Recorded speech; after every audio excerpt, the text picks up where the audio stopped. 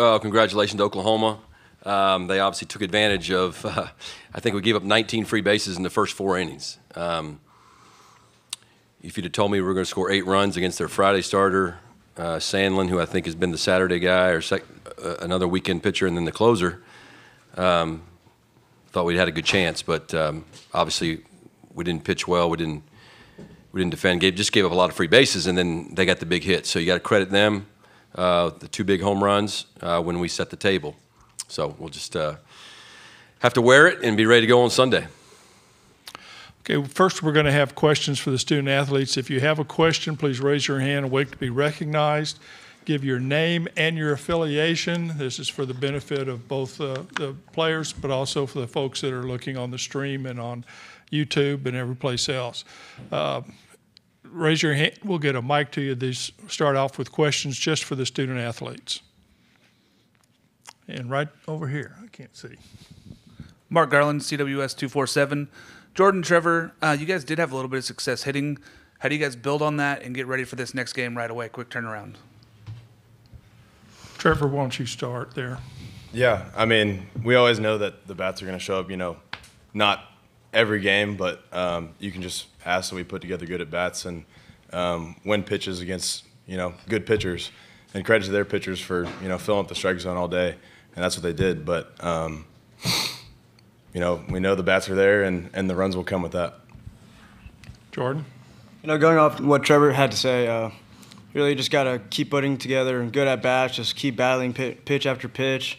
Eventually, you'll get to wear them out, and if not, you're going to help the guy behind you. And we keep helping each other, and that's the process and mindset that we take into every game.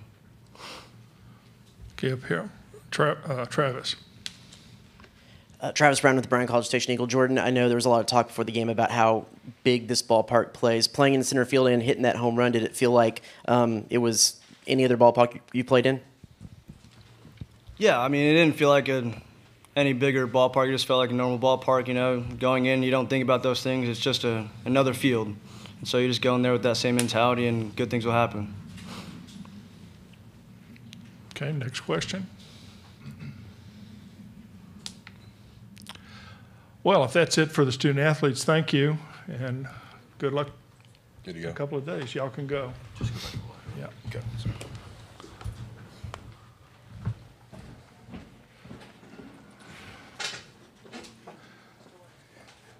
Once again, uh, questions for Jim, and raise your hand, and we'll get a mic to you. Travis? Travis Brown, the Bryan College Station Eagle coach. Uh, you went out and talked to Moo right before the, the Grand Slam. Was there a thought to to pull him then? What was kind of the, the, the strategy in your mind there? Pretty bad coaching visit. Gave up a Grand Slam on the next pitch. It's bad coaching. Uh, I was just trying to instill some confidence in him. You know, we, would had so many, you know, there were so many negative things. I was just trying to say, hey, man, just forget everything. If I if I had brought you in right now with the bases loaded, you've been in this situation a thousand times. Just execute pitches. So I was trying to show a little confidence in him, trying to, you know, definitely felt like, you know, Moo's been great for us all year. Um, you know, we just set the table too much. I mean, you just can't set the table. I mean, that's our, Moo's our best fielding pitcher. He's a really good fielding pitcher and made two errors. So, you know, you've combined that with the hit batters and the walks and, I mean, what do you think is going to happen? So, but yeah, that's, I was just trying to pump him up a little bit. Didn't go our way. Okay, Mark? Oh, back over here. Mitchell Kutcher, CWS 247. Coach, what's your message to the pitching staff after a game like that today as you prepare for the next game? I mean, there's this is not you're not going to make some grand change. You you are who you are, right? So, you know, my only message will be is it would, it would be nice to see, and we've seen it. You know, Moo didn't have a good day today. He's normally been pretty gritty, but you saw the quality of our bats against a really good pitcher, regardless of the score. The, the grit, the I mean, Austin Bost had that bat where he was down 0-2 and stayed in it and lined out to the second baseman like that.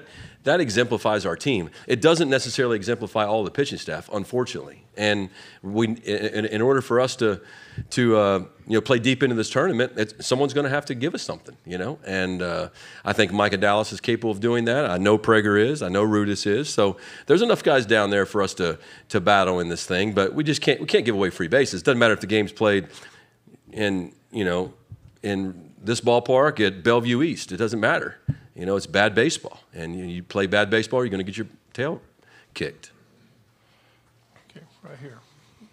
Uh, ben Peck Kags um, in College Station. Coach, uh, just you know, with this format having the day off tomorrow, um, facing elimination, uh, what's your message to the guys haven't been here before to not, I guess, dwell on it as opposed to normal weekend? You'd be able to maybe get back out there quicker and shake it off.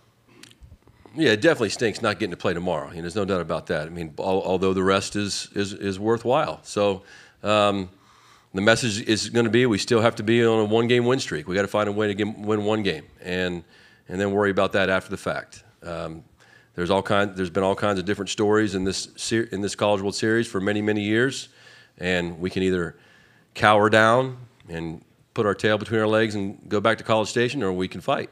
My money's on our guys fighting. Whether that results in a win or a lo- a loss, I don't know, but uh, I guess that's what I'll tell them.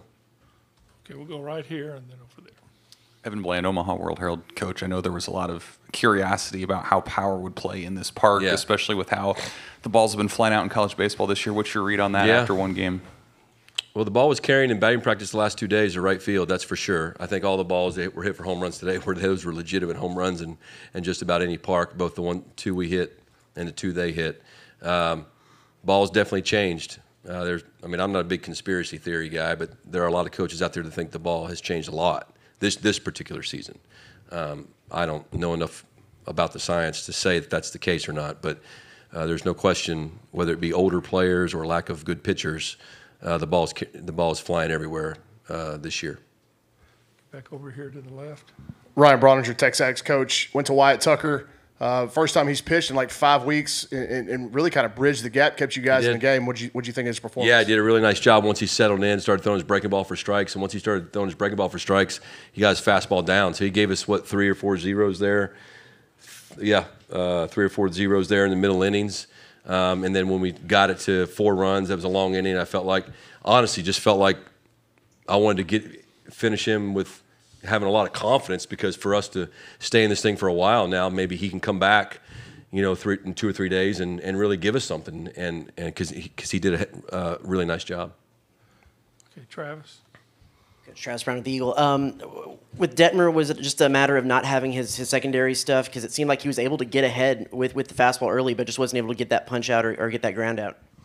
Yeah, I mean, he had he walked the leadoff hitter after getting the two strikes, and then on an 0-2 pitch, he just left the breaking ball up that Graham hit to right field, right? Uh, we got out of that inning with one run, and then I think all seven runs in the second inning were scored with two outs and two strikes. A lot of times we hit hit hit the nine-hole hitter on an 0-2 pitch. Um, yeah, I mean, just couldn't couldn't get off the field.